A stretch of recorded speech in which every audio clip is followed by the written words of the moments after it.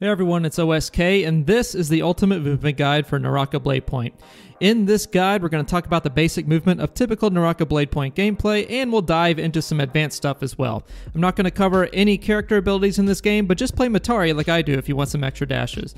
I much like the movement in this game. I'm going to keep the guide quick and fluid, so strap in and let's get moving. First things first, let's go over the basics. You can walk, run, sprint, dash, crouch, slide, jump, hop, double jump, climb, wall run, cling, drop, fast fall, and grapple. If I miss one, I don't want to know, but I know you'll put it in the comments anyway. In order to dash or dodge, you have a stamina bar, and these two things are the only moves in the game that deplete that stamina bar.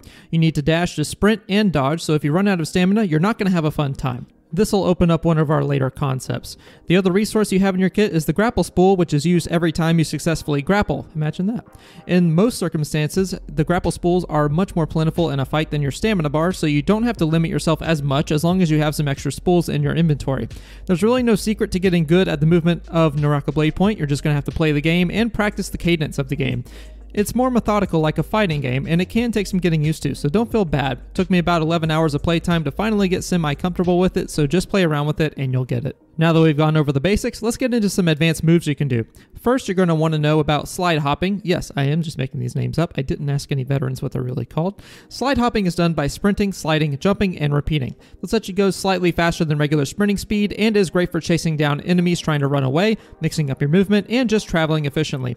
By the way, you can also do an uppercut by sliding and pressing right click with most melee weapons for a knockup, so you can mix up your opponent in a fight with this too.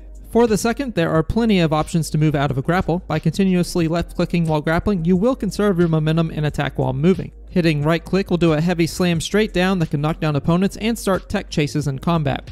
You can also jump and fast fall out of grapple and then grapple again, so there are plenty of ways to mix up your movement efficiently. Third, you can cancel your sprint by charging a focus attack and shifting forward. It'll help close the distance while also shaving some time off your charge attack, and you can cancel out of it as well with another dash. They're useful for chasing down and surprising opponents to get into a tech chase.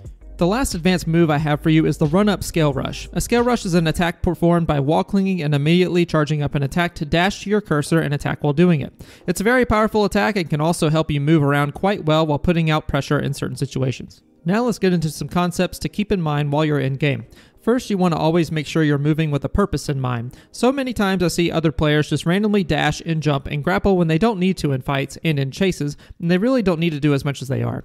You want every action to have some benefit to what you're currently doing. If you're running through the map, it should be to find loot, get into the next zone, get to a good place to defend, or hunt down other players. You never want to be running around with no real reason to. Same thing applies to while you're in combat. You don't really want to be randomly throwing out options. If you dash or jump, for example, it better be to dodge a dangerous attack, approach a fleeing opponent, or to create space for your ranged weapon.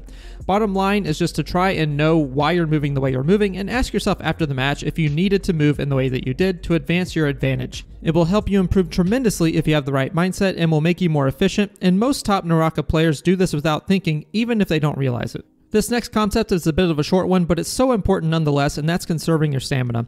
We kind of mentioned this in the previous section, but it's so important that it deserves its own.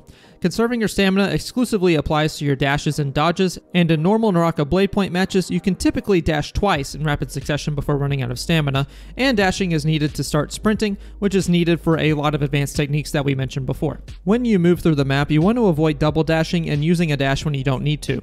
Naraka has an auto run system that does a good job in general of keeping you in your sprint animation unless you run into some weird terrain, so you don't need to dash as much as it seems in the beginning.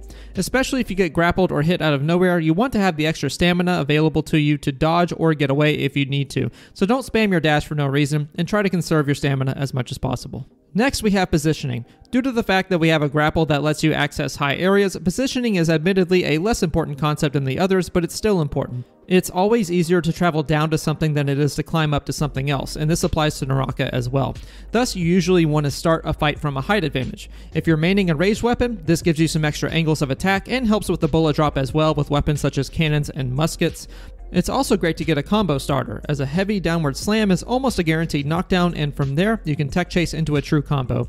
Learning proper positioning and how to utilize it effectively is essential to gaining micro advantages that will lead to more kills and more victories. Bonus concept that I didn't include initially is using your movement options for animation canceling. The key point here is moving as fast as the game possibly allows you to, and mastering animation canceling will give you access to different moves that the game normally doesn't allow. One example of this is using crouch cancels to reset your weapon's attack combo. This will let you stop yourself from automatically entering a weapon's charge attack and will let you have more control over a fight. We've also gone over an animation cancel earlier in slide hopping, which lets you travel faster, and there are plenty of these in the game, and I know for a fact I haven't discovered all of them yet. The best way to learn as many as possible is to spend some time in practice just experimenting with different options and also watching streams from top players, which is how I learn how to move as effectively as possible. So to recap, spend some time in practice to get used to your movement options, practice using them in combat to mix up your moves and throw off your opponents, make sure you're moving with a purpose, conserve your stamina as much as possible, position in a way that gives you an advantage, and of course, master those animation cancels.